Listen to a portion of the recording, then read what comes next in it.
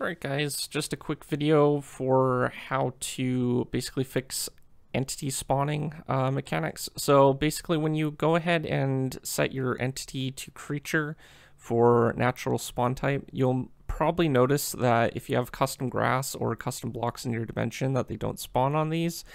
Uh, you need to actually add a Minecraft tag to your mod which will allow overriding that particular tag so entities can spawn on it.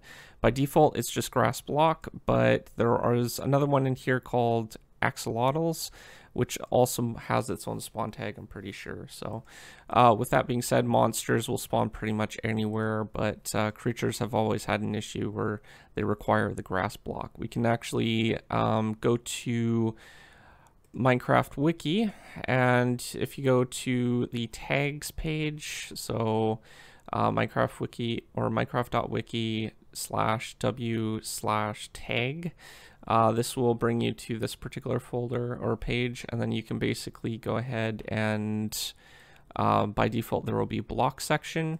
All the spawning tags can be found under here and some other valuable tags as well. So for example animal spawn this is the one that you'll need uh, or animal spawnable on, uh, which is grass block, and it says a whole bunch of stuff here that you'll be able to um, figure out. So um, I created a new folder on my projects um, workspace repository that is called documents. You can also get to the document folder from down here. And basically in here, I'm going to be starting to put PDF files of useful um, documentation. So in this case, I have one called uh, useful entity tags. And this basically just groups all the spawnable tags for all the different types of entities for Minecraft. So you can see that um, specific entity only ones, and then these are the ones that are supported by uh, the mcreator. So you can use these in your actual one. And then if you scroll down, you can also prevent players from spawning in certain blocks or on them. And there's also one for preventing entities from spawning. Uh, default block is Rails for that one. And I've listed the version, some notes about it, and the tag that you'll need. Now the tag will be Minecraft under the Minecraft namespace for the tag and it will be a block tag itself. So in mcreator, we'll quickly make something up um, in just a second. And there's some more other useful entity tags that you can find down below.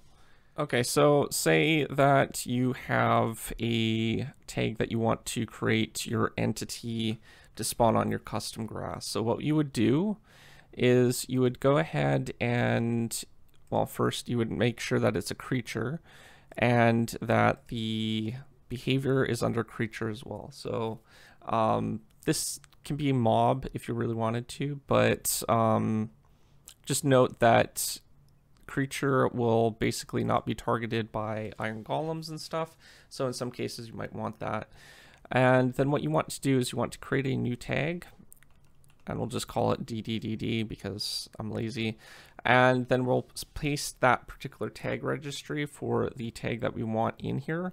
It needs to be under the Minecraft namespace and it needs to be a block. And then what you would do is you would basically assign your grass blocks or your dirt or whatever you want for the surface material of your dimension. So in my case, I would be generating the grass blocks and I would have specific entities that I would want to spawn on that particular block. So I'd basically select it and then I would save this. And then in any particular um, dimension, for the entity that I've basically created, I would want to make sure that either it's set up through the biome for the spawn rate.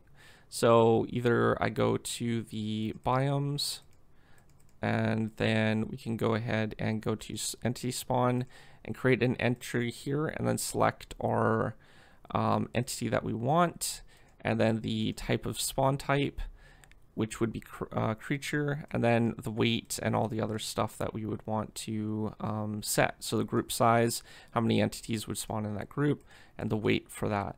So the other option is to do it through entity. If your entity is custom, you will have this option, and you'll be able to set the spawn weight, uh, the maximum group and then you'll be able to set what biomes you want them to spawn in.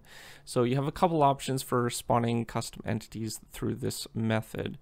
Uh, with that being said, if you are new to my channel, don't forget to subscribe, comment down below, rate the video, and I will see you guys next time. Thanks for watching. Peace out.